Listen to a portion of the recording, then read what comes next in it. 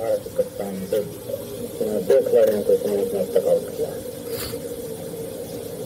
छब्बीस ओवर छह में छप्पन रन दो विकेट पर पास गई विकेट टांगों पे लगी और छह रन गेंद थी और डायव मारी महेंद्र अमरनाथ में कामयाब नहीं हुए प्रसन्न गेंद के पीछे भागे मगर गेंद बाउंड्री लाइन बहुत सुंदर शॉट था जावेद मियादाद का बाहर निकल कर ड्राइव किया था। लाइट बॉल की बेबी दिया बेबी ने खुद देश शॉट से ताली So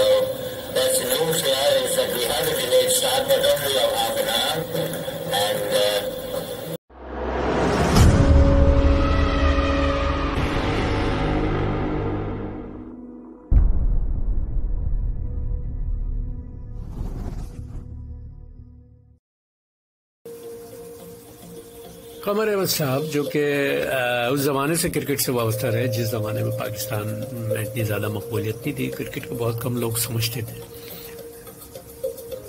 आप सहाफत से भी ताल्लुक़ रखते थे और बेहतरीन तबसरा निगार भी थे। तो कमेंट्री का जब भी नाम होगा पाकिस्तान में, अगर नाम लिया जाएगा तो कमर अहमद साहब का नाम भी नाम लिया जाएगा। उमर कुरैशी साहब क्रिकेट के मायनाज कमेंटेटर थे इंग्लिश के। और अगर आप 87 का वर्ल्ड कप देखें और वो सीरीज़ जो इंडिया पाकिस्तान की 78 या उसके बाद 80s में आई, खूबसूरत कमेंट्री करते थे और दूर दूर से लोग उनकी कमेंट्री सुनने आते थे। एक ज़माने में इंग्लिश कमेंट्री में कमेंट्री में सिमोनी का नाम था। आज हमें नहीं है, मगर उनकी कमेंट्री याद है। इफ्तार अहमद साहब, बहुत ही खूबसूरत कमेंटेटर थे। लोग उनको याद करते थे। और इंतज़ार में रहते थे, कब इफ्तार अहमद साहब माइक संभालें।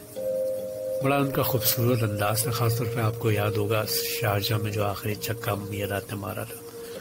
तो उनका जश जोश और जज्बा तो देखने से ताल्लुक़ रखता था। 78 पाकिस्तान इंडिया सीरीज़ और 87 वर्ल्ड कप। इसके बाद एक और मायनाज कमेंटेटर चिश्ती मुजाहिद साहब। उनकी खसूसियत ये थी कि वो क्रिकेटर्स का पूरा रिकॉर्ड्स बताते थे रिकॉर्ड्स उनके सामने होते थे। जो क्रिकेटर होता था उसके बारे में बैकग्राउंड भी बताते थे। बड़ी मायनाज कमेंटेटर थे और बहुत ही अच्छी कमेंट्री करते थे, चिश्ती मुजाहिद साहब। एक बड़ा नाम है पाकिस्तान की क्रिकेट कमेंट्री में। शहजाद हिमायू साहब और शहजाद हिमायू साहब का भी एक बहुत बड़ा किरदार है कमेंट्री क्या जब भी अगर हम क्रिकेट के फ़रोग में हम लोग बात करेंगे कि भाई इन लोगों ने जो है क्रिकेट को फ़रोग दिया तो उसमें कमेंट्री में जो है शहजाद हिमायू साहब भी याद रखे जाएँगे। बड़ा अच्छा अंदाज था, खूबसूरत अंदाज था। ये वो पाकिस्तान के कमेंटेटर है, जो आज भी याद है। इसके बाद हम चलते हैं एक और कमेंटेटर तारिक रहीम साहब। 78 का वर्ल्ड कप उसके बाद 80s के जो मैचेस पाकिस्तानी टीम खेलती थी होम ग्राउंड पर उसमें तारिक रहीम साहब कमेंट्री करते नज़र आते थे। बड़े अच्छा अंदाज था उनका। फ्लो था उनकी कमेंट्री में। तो वो भी याद रखे जाएँगे, जो क्रिकेट के शायकीन है हमारे। इन कमेंटेटर्स को नहीं भूल सकते। मुनीर हुसैन साहब, एशिया में पहले कमेंटेटर थे जो इन्होंने उर्दू में कमेंट्री को मुतारिफ कराया।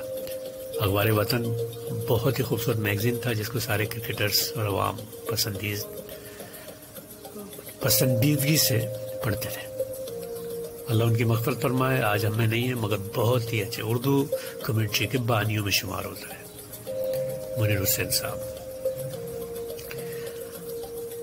78 के मैचेस 87 का वर्ल्ड कप। मुनीर हुसैन साहब छाए हुए नज़र आते हैं कमेंट्री में। बड़ा खूबसूरत अंदाज था उनका, ऑस्ट्रेलिया में भी और 92 के वर्ल्ड कप में भी। एक और माइनस कमेंटेटर हसन जलील साहब। हसन जलील साहब जो थे, उनका एक मुनफरद अंदाज था उर्दू कमेंट्री में। और वो चीज़ हमें बाद में देखने में नहीं मिली जो उनका अंदाज था हसन जलील साहब का। और बहुत ही अच्छे कमेंटेटर थे। उनकी कमेंट्री में एक अट्रैक्शन था जो कि लोगों को बहुत मुतासर करता था। उर्दू कमेंट्री में उनका नाम हमेशा याद रखा जाएगा। सफ़े अव्वल के कमेंटेटर्स में। मुनीर हुसैन साहब बानी थे और उसके साथ मिर्ज़ा इकबाल बैग, आखिर के चंद मैचेस में उन्होंने चंद ये कहें कि जो आखिरी अयाम थे जिसमें कि कमेंटेटर जो थे नॉन क्रिकेटर उसमें इनका भी नाम था साहब से वाबस्ता थी पी टी वी से वाबस्तगी थी आपकी। बड़ा नाम, मिर्ज़ा इकबाल बैग खातिन हजरात ये कमेंटेटर थे जो आज गुमनाम है, मगर उनका नाम हमेशा ज़िंदा और जावेद रहेगा।